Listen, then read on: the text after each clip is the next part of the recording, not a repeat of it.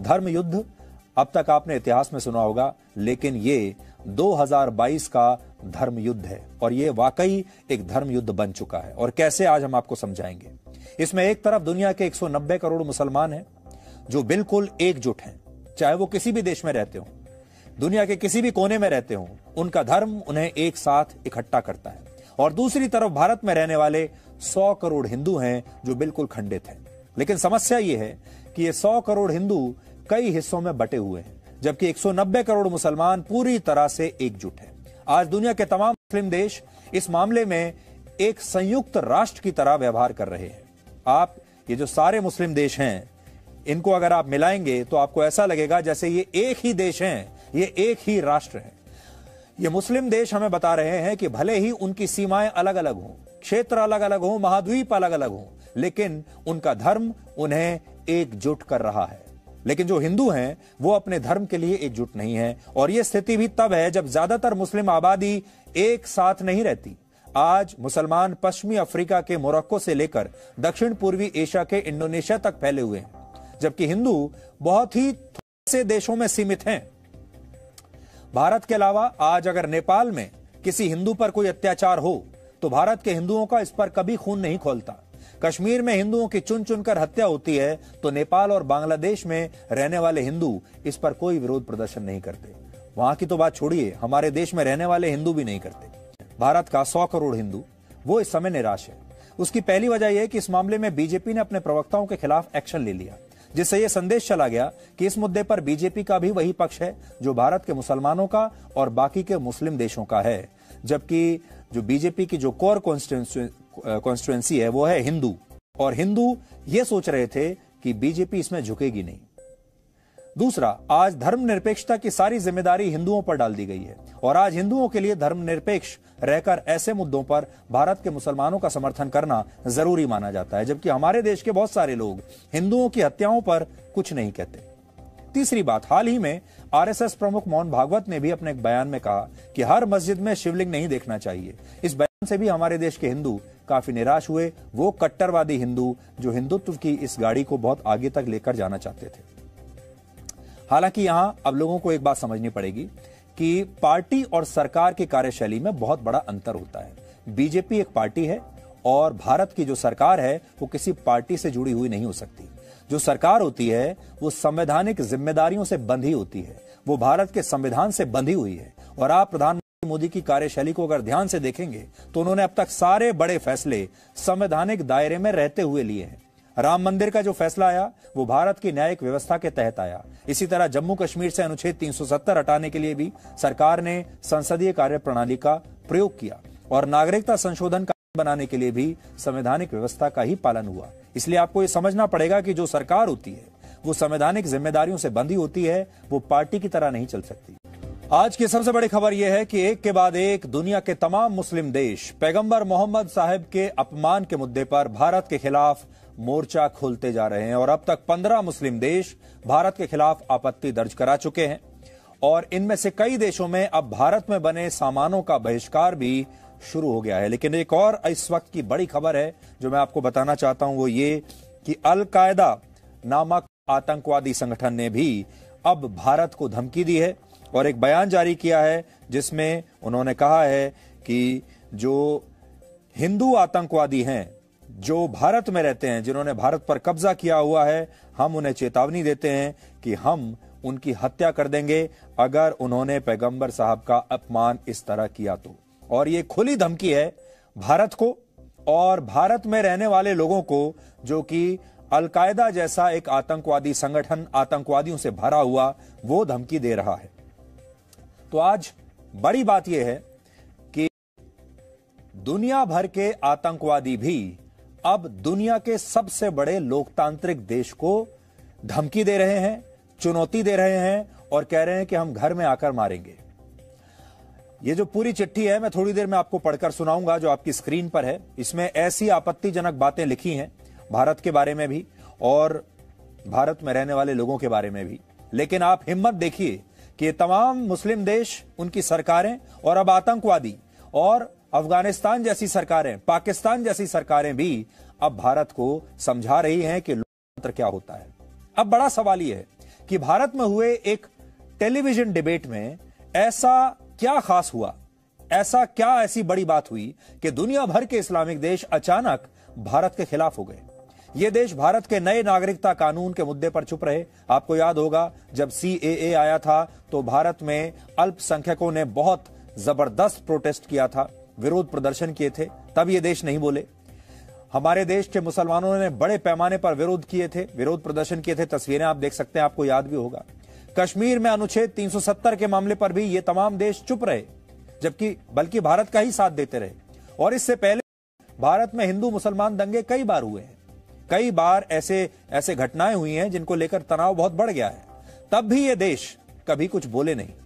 तो इस बार ऐसा क्या हुआ कि तमाम मुस्लिम देश खुलकर भारत के खिलाफ आकर खड़े हो गए? आज हम आपको बताएँगे कि अब यह लड़ाई धर्म युद्ध का रूप ले चुकी है। इसलिए इस शब्द को आप याद रखिएगा। अब ये जो लड़ाई है ये हो सकता है आपको डिप्लोमेटिक लड़ाई लड़, लग रही हो। दो देशों के बीच जो स्टेटमेंट्स का आदान प्रदान हो रहा है राजदूतों को बुलाकर जा रहा है कि आप अपने देश की सरकार तक हमारी बात पहुंचाइए, आपत्ति दर्ज कराई जा रही है, लेकिन इतना नहीं है। असल में अब ये एक धर्म युद्ध का रूप ले चुका है। और अब दुनिया में एक तरफ़ 190 करोड़ मुसलमान हैं, जो इन देशों में रहते हैं, जो बिल्कुल एकजुट हो चुके हैं, और दूसरी तरफ़ भारत में रहने वाले 100 करोड़ हिंदू हैं, जो आज भी एकजुट नहीं है अलग अलग खंडों में बिखरे पड़े हैं। इस समय मुस्लिम देशों में भारत का विरोध करने की यह मुहिम आग की तरह फैल रही है। पिछले बहत्तर घंटों में दुनिया के पंद्रह मुस्लिम देश इस मुद्दे को लेकर भारत के प्रति अपनी नाराज़गी जता चुके हैं। इनमें कतर है, कुवैत है, ईरान और पाकिस्तान जैसे देशों के अलावा अब Maldives Libya, Indonesia, Jordan, UAE, Turkey और सऊदी अरब जैसे देश भी अब इसमें शामिल हो गए हैं। और जो देश बच भी गए हैं, वो आने वाले दिनों में शामिल हो जाएँगे। और आपने ये भी देखा होगा कि इस्लामिक देशों का जो संगठन है, वो जिसमें सत्तावन देश शामिल हैं, वो भी भारत के खिलाफ एक बहुत कड़ा रुख अपना चुका है इस मुद्दे को लेकर। यानी जिसको आप कह सकते हैं कि पूरी इस्लामिक दुनिया इस समय भारत के खिलाफ है। इसके अलावा बहरीन ने भी धार्मिक आज़ादी के मुद्दे पर भारत को लेक्चर दिया है और इस घटनाक्रम पर भारत का दिया है। अब देखिए, बहरीन की कुल आबादी है सिर्फ़ सत्रह लाख। आबादी के मामले में बहरीन उत्तर प्रदेश के एक छोटे से शहर मेरठ के बराबर है। यानी हमारे मेरठ के बराबर का जो जो देश है, वो आज हमें बता रहा है कि लोकतंत्र क्या होता है और ये भी तब जब बहरीन में लोकतंत्र है ही नहीं। वहाँ राजशाही शासन की व्यवस्था है, वहाँ लोग कट्टर इस्लामिक तौर तरीकों का पालन करने के लिए मजबूर है। लेकिन इसके बावजूद आज बहरीन दुनिया के सबसे बड़े लोकतंत्र को सिखा रहा है कि धार्मिक आज़ादी क्या होती है। आज आप बहरीन जैसे देशों के दोहरे मापदंडों को भी इन तस्वीरों को देखकर समझ ये तस्वीरें वर्ष 2020 की हैं, जब बहरीन के एक सुपर स्टोर में बुरका पहने हुए दो महिलाओं ने भगवान गणेश की मूर्तियों को उठाकर तोड़ना शुरू कर दिया था। आप में से बहुत सारे लोगों ने दो साल पहले इन तस्वीरों को देखा भी होगा। ये बहरीन का ही स्टोर है, जहाँ पर गणेश जी की मूर्तियों को तोड़ा गया। इन महिलाओं का कहना था कि बहरीन एक मुस्लिम देश है और वहाँ किसी और भगवान की पूजा नहीं हो सकती। ये खबर दो साल पुरानी है, लेकिन क्या आज तक भारत ने कभी इसके बारे में ऐसा प्रोटेस्ट किया जैसा बहरीन आज कर रहा है? क्या भारत में बैठे सौ करोड़ हिंदुओं ने बहरीन पर इतना दबाव डाला जैसा बहरीन आज हम पर डाल रहा है? क्या भारत के हिंदुओं ने उस समय अपनी सरकार पर या बहरीन पर इस तरह की कोई दबाव की राजनीति अपनाई जैसा कि आज इस्लामिक देश कर रहे हैं? सोचिए, भारत में एक नेता टीवी डिबेट के दौरान पैगंबर मोहम्मद साहब को लेकर कुछ टिप्पणी कर देती है और यह मुद्दा इतनी बड़ी अंतर्राष्ट्रीय खबर बन जाता है। लेकिन दूसरी तरफ़ बहरीन में दो महिलाएँ हिंदू देवी देवताओं के लिए अपशब्द कहती हैं, मूर्तियों को तोड़कर उनका अपमान करती हैं। लेकिन हमारे देश में रहने वाले लोग इस पर प्रतिक्रिया तक नहीं देते, चुपचाप बैठे रहते हैं। हालाँकि ये सारी तस्वीरें आप तक आपके व्हाट्सएप पर आई थी, ये आपकी फेसबुक पर आई थी। इन्होंने हमने भी तब इन तस्वीरों को दिखाया था, लेकिन हमारे देश में बिल्कुल शांति छाई हुई थी, चुप्पी छाई हुई थी। किसी भी हिंदू को यह अपमानजनक नहीं लगा। इससे पता चलता है कि मुस्लिम देश तो आज अपने धर्म को लेकर बिल्कुल एकजुट है, लेकिन भारत के लोग अपने धर्म को लेकर आज भी बुरी तरह बटे हुए हैं, वैसे ही जैसे हज़ारों वर्ष पहले थे, और इसीलिए एक के बाद एक आक्रमणकारी आते रहे और हम पर राज करते रहे, और हमें गुलाम बनाकर अपने यहाँ रखते रहे। इससे भी बड़ा दुर्भाग्य यह है कि आज जिस अफ़गानिस्तान में महिलाओं को बुरका ना पहनने पर उनकी हत्या कर दी जाती है, वहाँ मस्जिद के अलावा किसी नए मंदिर, गुरुद्वारे और चर्च का निर्माण नहीं हो सकता। वहाँ की तालिबान सरकार आज भारत को बता रही है कि धार्मिक आज़ादी क्या होती है और क्या होना चाहिए। वहाँ तो न्यूज़ पढ़ने वाली जो न्यूज़ एंकर्स हैं, अब उन्हें भी कह दिया गया है कि वो भी बिना बुरके के न्यूज़ नहीं पढ़ पाएँगे। जिस कतर ने हिंदू देवी देवताओं की आपत्तिजनक पेंटिंग बनाने वाले भारत के पेंटर एम एफ़ हुसैन को अपने देश की नागरिकता दी, आज वही कतर भारत को बता रहा है कि उसे सभी धर्मों का सम्मान करना चाहिए, जबकि कतर खुद एक ऐसा देश है जहाँ इस्लाम को छोड़कर किसी दूसरे धर्म का प्रचार करने पर भी जेल की सजा हो सकती है। आज अगर कोई व्यक्ति सऊदी अरब की नागरिकता लेना चाहे तो उसे पहले इस्लाम धर्म को अपनाना पड़ता है, तभी आपको सऊदी अरब में नागरिकता मिलेगी। इसके अलावा सऊदी अरब में गैर मुस्लिम आबादी और खास तौर पर को खुले में धार्मिक अनुष्ठान करने की इजाज़त नहीं है। लेकिन सऊदी अरब भी भारत को यह बता रहा है कि धार्मिक आज़ादी क्या होती है। और आपने एक मशहूर पत्रकार की बात तो सुनी होगी। उनका नाम था खशोक जी, जिनकी हत्या सऊदी अरब ने करवा दी थी। और कैसे दूतावास में ही आरी से उस पत्रकार के जो शरीर था, उसको टुकड़े टुकड़े करके उन्होंने फेंक दिया था। सिर्फ़ इसलिए क्योंकि वो सऊदी अरब के खिलाफ खबर लिख रहा था। और वो सऊदी अरब आज हमें शिक्षा दे रहा है।